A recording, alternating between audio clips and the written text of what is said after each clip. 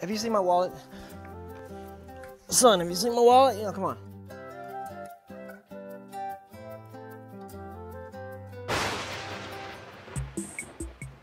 All right, I spy. Great idea! By playing I Spy for things like shapes, numbers, even rhymes.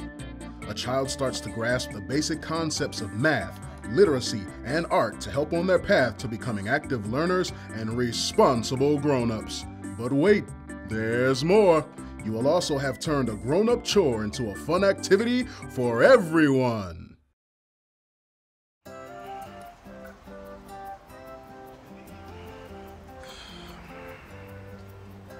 Well, not much longer.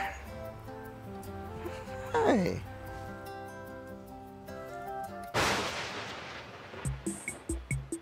What's a bird do?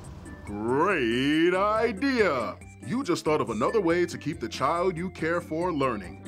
Give me duck. Give me duck. Waiting can be hard for children, so playing a movement game during waits can help them use their energy and promotes body awareness. But wait, there's more.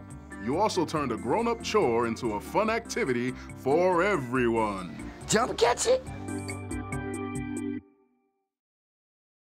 Building blocks.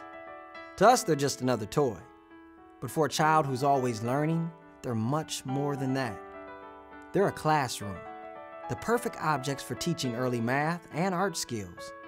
They can be built into castles or counted and sorted. They can become cars or airplanes or people or just about anything. Because sometimes the less a toy does, the more your child is able to use and develop their imagination. That's a truck, I think, huh? Got a truck behind the taxi cab? Here, let me see. You want to do one too? Here, follow me. My child is always learning, so I'm always looking for ways to teach them.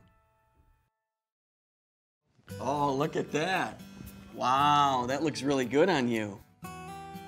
While playing dress up in the mirror may not always seem like a life changing experience to us, this kind of play teaches a toddler tools like doing things for themselves and distinguishing themselves from others.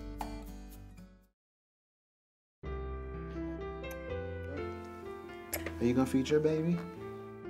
While pretending to give a baby doll a bottle may not always seem like a big moment in a toddler's life, pretending and imitating caregiver relationships teaches creativity and helps them connect to others.